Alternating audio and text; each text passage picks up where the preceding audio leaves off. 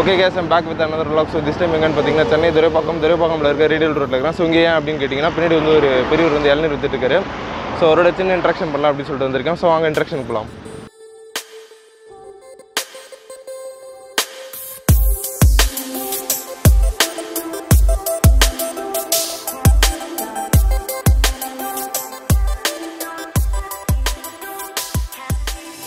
வணக்கம் ஐயா.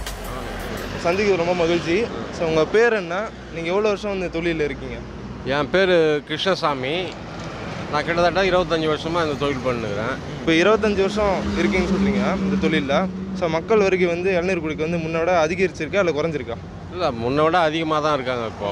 ரொம்ப இயற்கையாக எந்த பானம் கிடைக்குதோ இயற்கை தான் மெயினாக அவங்க லைக் பண்ணுறாங்க அவங்க முன்ன மாதிரிலாம் வந்து அந்த கூல்ட்ரிங்க்ஸ் அது இதெல்லாம் போகிறதுல காலையில் ஆனால் இளநீ குடிக்கிறதுக்கு கண்டிப்பாக வராங்க. இப்போ வந்து இளநீரோட வகைகள் என்னென்ன வகை இருக்குது அப்படின்னு சொல்லுங்கள் அது வந்து இங்கே என்ன ரேட்டு விற்குது உங்கள்கிட்ட என்ன இருக்குது இதெல்லாம் கொஞ்சம் சொல்லுங்கள் இளநீ வந்து முன்ன விட இப்போ ரேட்டு கொஞ்சம் அதிகமாக தான் இருக்குது இருந்தாலும் இளநியோட வகைகள்னு பார்த்தோன்னா தேனி தருமபுரி பாண்டி கடலூர் பொள்ளாச்சி அந்த மாதிரி ஐட்டம்லாம் வருது. அதுலேயும் பொள்ளாச்சியில் வந்து ரெண்டு விதம். ஒன்று செவ்வழனி இன்னொன்று பச்சை. ரெண்டு கலரு எல்லாமே தண்ணி நிறைய இருக்கும். அதை தான் மக்கள் விரும்பி வாங்கி சாப்பிட்றாங்க. இப்போ இங்கே இருக்கிற இளநீர் வகை வந்து கொஞ்சம் காமிக்கிறீங்களா? கண்டிப்பாக காமிக்கிறேன்.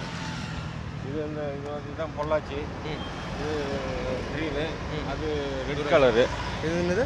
இது கிரீன் பச்சை கலரு இது தண்ணி முக்கால் லிட்டர் இருக்கும். குறைஞ்சபட்சம். இது வந்து பொள்ளாச்சிங்களா? பொள்ளாச்சி பொள்ளாச்சி இது பொள்ளாச்சி. இதுவும் பொள்ளாச்சி. இப்போ இந்த காயெல்லாம் பார்த்தீங்கன்னா இதெல்லாம் வந்து பாண்டி. பாண்டி கடலூர். அந்த மாதிரி ஐட்டம் காய்ங்க. இது என்ன ரேட் வருது?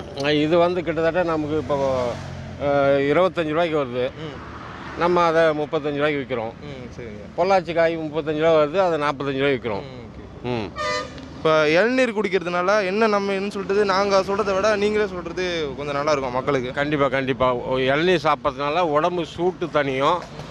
மஞ்சக்காமால அம்மம் வர்றது அப்புறம் ஃப்ரீ பாடியோட கண்டிஷனே ஃப்ரீ ஆகிடும் ஃப்ரீ மோஷன் இந்த மாதிரிலாம் யூஸ் செய்யுது அதில் வந்து ஒன்று ஒன்றா சொல்லணுன்னா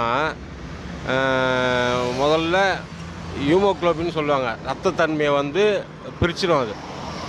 குளுக்கோஸ் எனர்ஜி அதிகமாகும் மனுஷனுக்கு. அதனால் இளநீ கம்பல்சரி காலையில் ஒரு இளநீ ஈவினிங் ஒரு இளநீ சாப்பிட்லாம். முடியாதவங்க காலையில் ஒரு இளநீ சாப்பிட்டாலும் ரொம்ப நல்லது தான் ரொம்ப நல்லதுயா? நீங்கள் ஏதாவது வந்து சொல்லணும்னு நினைக்கிறீங்களா? மக்களுக்கு? என்ன சொல்லணும்னா மக்கள் வந்து கூல்ட்ரிங்க்ஸ் எல்லாம் கெமிக்கல் அதிகமாக இருக்குது. இளநீ வந்து ஒரிஜினலாக நல்லா ஃப்ரெஷ்ஷான ஐட்டம். அது இளநீ சாப்பிட்டா டெய்லி ஒரு இளநீ சாப்பிட்டா மக்களுக்கு பாடி கண்டிஷன் நல்லாயிருக்கும் நம்ம தமிழ்நாட்டு மக்களுடைய வியாபாரமும் அதிகரிக்கும். ரொம்ப நன்றியா. உங்களோட இன்ட்ராக்ஷன் பண்ணது ரொம்ப மகிழ்ச்சியாக இருக்குது ரொம்ப நன்றியா. Okay okay. ரொம்ப நன்றிங்க. ஓகே கேஸ் இன்ட்ராக்ஷன் பண்ணலாம் கவனிச்சிருப்பீங்க. ஸோ அவர் வந்து ஒன்று சொன்னார் மக்கள் வரைக்கும் வந்து இளநீர் குடிக்க முன்னோட அதிகமாகவே இருக்குது அப்படின்னு சொல்லியிருக்காரு. இதெல்லாம் வந்து நம்ம வந்து சந்தோஷமடைய வேண்டிய ஒன்று பெரிய பெரிய பிராண்ட் அம்பாசடர்ஸ்லாம் பார்த்துப்பீங்க நிறைய சாஃப்ட் ட்ரிங்க்ஸ் வந்து ப்ரொமோட் பண்ணுறாங்க இன்னமும் ரெடியாக இருக்காங்க. ஸோ நம்ம விவசாயிகளோட இளநீரை வந்து ப்ரொமோட் பண்ணுறதுக்கு யாருமே கிடையாது. இப்போ வீட்டில் இருக்கிற ஒவ்வொரு குழந்தைங்களுக்கும் வந்து நீங்கள் மற்ற சாஃப்ட் ட்ரிங்க்ஸ் வாங்கி தர மாதிரி இதையும் சாஃப்ட் ட்ரிங்க்ஸாக கன்சிடர் பண்ணீங்க அப்படின்னா பின்வரும் தலைமுறையும் வந்து அதை ஃபாலோ பண்ணுவாங்க. நான் மற்ற சாஃப்ட் ட்ரிங்க்ஸ் குடிக்கக்கூடாதுன்னு கூட சொல்ல அதே மாதிரி இதையும் வந்து ஒரு சாஃப்ட் ட்ரிங்க்ஸாக கன்சிடர் பண்ணுங்கள் உங்கள் குழந்தைங்களுக்கு அப்படின்னு தான் நான் சொல்கிறேன் நம்ம விவசாயங்களுக்கு வந்து நிறைய நம்ம இது ஷேர் பண்ணுறோம் நிறைய ஹெல்ப் பண்ணுறோம் அப்படின்னு சொல்கிறோம் ஸோ இந்த மாதிரி விஷயத்துலையாவது நம்ம ஹெல்ப் பண்ணலாம். இந்த வீடியோ போயிட்டு அதிக மக்கள்கிட்ட நீங்கள் போய் ரீச் பண்ணீங்கன்ற நம்பிக்கை எனக்கு இருக்குது மீண்டும் இன்னொரு விழா கூட சந்திக்கிறேன். நன்றி வணக்கம்.